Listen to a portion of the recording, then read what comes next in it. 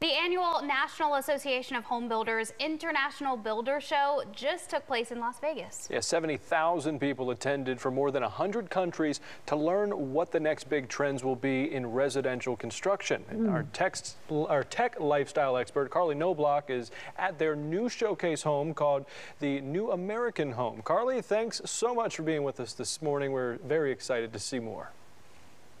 Great. Thank you so much for having me. I partnered with a few brands that made news not only at the show, but right here in the new American home. With almost 8,000 square feet of luxury overlooking the Las Vegas skyline, it showcases energy efficiency, cutting edge innovations, and of course, great design. All right, so let's start uh, with a couple of those innovations inside that home. What do you have for us? Well, the heart and soul of any home is the kitchen and the laundry as well. But let's start right here with Signature Kitchen Suites 48 inch built in French door refrigerator.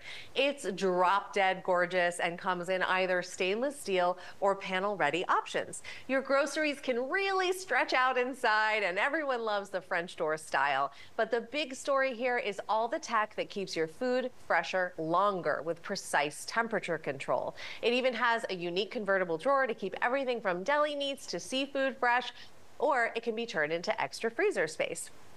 Now let's talk laundry with the LG Wash Tower. It's got great features and great style in half the floor space. The washer detects fabric texture and load size and gets smarter with every load. The dryer is massive and uses innovative heat pump technology to recycle heated air using half the energy to dry each load. Plus, it's ventless, giving you so many more installation options. I love how sleek the design is and that you control it all from this easy to reach center panel. No need to get up on a step stool. And both of these appliances, by the way, are Energy Star rated, so they fit right into this net zero home. How about some innovations for heating and cooling?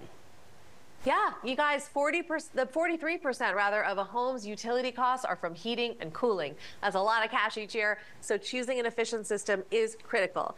This home features LG's heat pump HVAC technology, which moves heat from one place to another using natural heat sources to provide both heating and cooling.